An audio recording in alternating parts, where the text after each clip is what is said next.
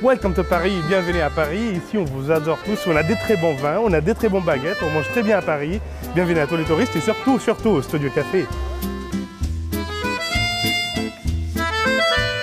Det är en riktigt vacker stad och eh, så jag förvånas hela tiden hur vackert det är. Varenda gång jag är inne i Paris så, så häpnas man. Det finns mycket, mycket att göra helt enkelt.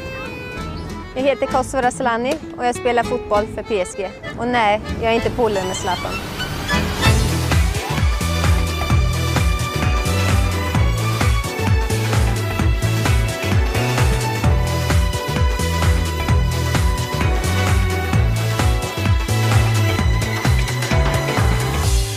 Den eh, jättestor klubb, eh, Paris Saint-Germain, så direkt när jag fick möjligheten att eh, komma hit så kändes det som en eh, självklarhet för att deras ambition är att bli bäst i världen.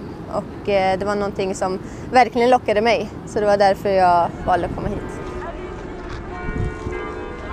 Jag har ju varit här i snart tre år, tre säsonger, så, men ändå varje gång så säger jag samma sak, fan vad fint det är i Sverige, men det, det är så fint och även fast jag har sett samma ställe hundra gånger så tycker jag fortfarande att det är lika vackert.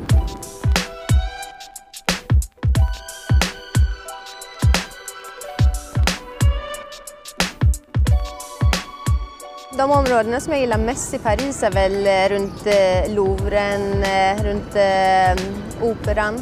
Jag tycker det är väldigt både vackert men samtidigt väldigt mycket restauranger och vi håller till lite utanför eh, Paris där vi har vår träningsanläggning så det ligger nära Saint-Germain. Så det blir lite utanför så när man har lite ledig tid så försöker man ta sig in till Paris eh, så mycket som möjligt för eh, det, det finns så mycket mer att göra här.